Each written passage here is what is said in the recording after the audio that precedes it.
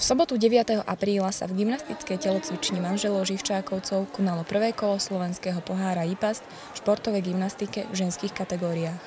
Súťažilo 71 pretekárok z 8 klubov z celého Slovenska.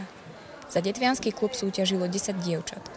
Poprosili sme trénerku Katarínu Krekáňovú, aby nám bližšie špecifikovala túto súťaž. Tak toto je jedno z kôl slovenského pohára, konkrétne my ako detva všeobecne tak tradične začíname, čiže to je prvé kolo slovenského pohára, celkové ich sú tri a na konci ako štvrté kolo už nie, sú to majstrovstvá Slovenska a vlastne z celkového výsledku tých tretích, tých troch kôl, ktoré sa dievčatá zúčastnia, sa aj vyhlasuje e, neskôr na majstrovstvách Slovenska, ktoré sú z hodovokolnosti tiež v tomto klube. Žiačky musia u nás robiť všetky štyri disciplín. Preskok, bradla, kladinu, prosné až potom, keď už sú staršie, v juniorkách, seniorkách môžu vyberať náradia. V kategóriách A a B najmladších žiačok dosiahol detvianský klub úspech v podaní Nelly Ostrihoňovej, ktorá sa umiestnila na treťom mieste, a Márie Novosadovej, ktorá si vybojovala prvé miesto. Aká je tvoja najobľúbenejšia disciplína? Mm, bradla. Mávaš trošku trému pred súťažou? No. Koľkokrát do týždňa chodíš na tréning? Sobota, nedeľa, Aká je tvoja najobľúbenejšia disciplína?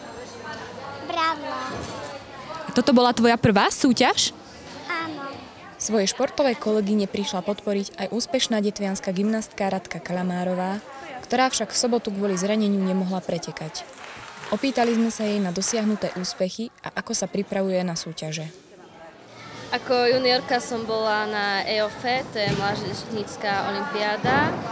Tam som bola prvá náhradníčka do 24 najlepších a minulý rok majstrovstva sveta v Glasgowe.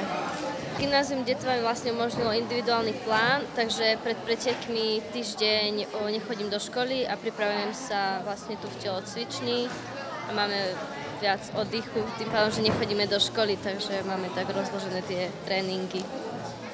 Pretekárky na prvých troch miestach dostali pohár, medailu, diplom a od organizátora vecné ceny.